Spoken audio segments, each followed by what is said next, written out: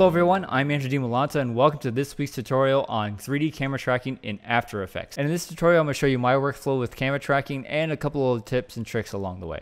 And a couple of pointers before you go out shooting your footage, make sure you plan all your shots out, make sure you know which shots you want to be compositing 3D effects into because you don't want to be doing more work than you have to and time is money, so the more time you spend trying to fix things in post or on set, you're wasting time, you're wasting money. And a couple of things that I found helpful when 3D tracking is shooting at a higher shutter speed and limiting the shallow depth of field. This way it makes it easier for your software to track the camera because it relies on a lot of sharp contrasting points. And shooting at a higher shutter speed reduces the motion blur and lessening the shallow depth of field makes it easier for the software to uh, pick out track points. So here we have my first clip in Adobe After Effects. We're gonna do, first, we're gonna go ahead and track the camera by right clicking and hit track camera. It's gonna an analyze the shot and solve the camera for you. Uh, so let's let go ahead and let it do its thing. So here I have all the track points that the software has spit out and I don't like the size of the track markers. So I'm gonna go ahead and jack those up and I'll also increase the size of the target and we want to go around and see which three points best fits the angle I want I'm going for. Or we can also pick our own track points. I'm gonna go ahead and try to do that right now. That looks pretty good. So before we create a camera or any kind of solid what I want to do first is right click and set ground plane and origin. Once we've done that right click again and then create camera and solid and we can play through and see what that looks like and it looks like it did a pretty good job.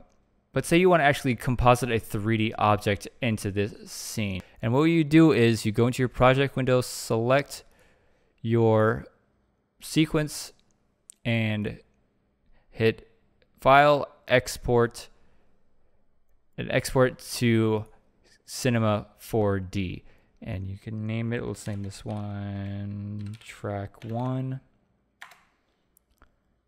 then to bring it back in, you want to import it back into After Effects and then select it and hit edit original and then Cinema 4D will open up. Now this isn't a tutorial on how to use Cinema 4D. I I'm pretty novice at Cinema 4D. I'm more of a Blender user. But for simple effects like simple objects compositing, this Cinema 4D Lite works pretty well. So save so save the project, head back to After Effects, and then go ahead and drop it into your composite. And there is the 3D text that we added in Cinema 4D. And what's great about this integration with Cinema 4D and After Effects is it works exactly like it would with After Effects and Premiere Pro as well. So any changes you make in Cinema 4D will affect the changes in After Effects. Um, obviously, this isn't perfect. Uh, I, there's other ways of going about this. You use third-party software and plugin to track the shot and create an actual 3D environment and do it that way. But for simple objects like text, or if you're in a quick like time crunch, this is a very quick and easy way you can achieve this. But I want to go over a trick that I developed to help Composite 3D objects in a shot that really doesn't track all that well. So here I have a shot that I didn't plan out all that well. And when you look at the track data, you see that it, it doesn't have enough information to make a great origin plane. So what I'm going to do is I'm going to go ahead and pick a point that looks good. Let me track through this really quick.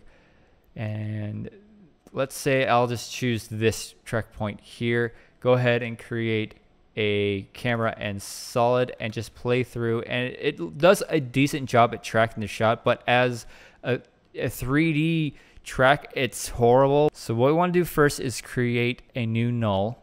Pick whip it to your camera to the null. So now that your camera is attached to that null and then next thing you want to do is create a new solid.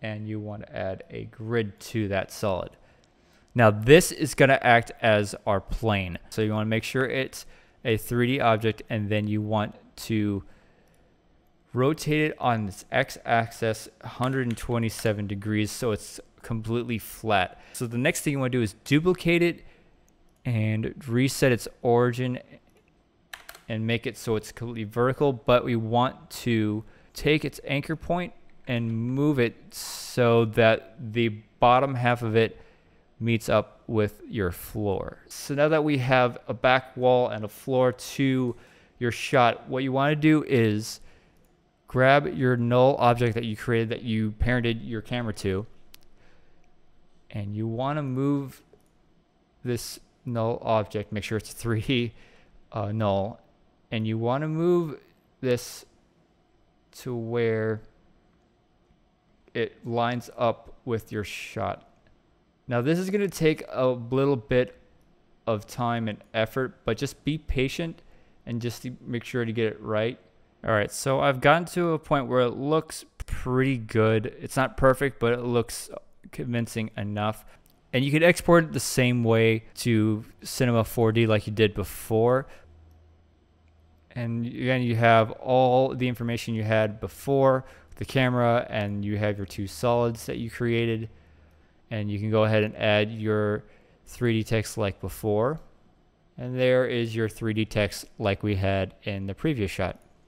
And of course, after this step, you can go ahead and add shadows and anything else you wanted to in Cinema 4D and then composite it in After Effects. Obviously, you want to do something more complicated. You use a third party uh, software or plugin to track your shot and uh, use a different uh, software if you would like. I use Blender. I'm not well versed in Cinema 4D. So, but if you want to see a couple of my shorts with that, I'm leaving in the description below. Go check those out if you want. So if you found this tutorial helpful, hit that thumbs up button below. And if you have any questions or if you have a topic you would like for me to cover, leave them in the comment section below or you can tweet them to me at Drew Dimalanta. I'll be doing tip and tutorial videos every week, so be sure to subscribe to be updated on all of those. So until next time, I'm Andrew Dimalanta. Thanks for watching and I'll see you guys next week.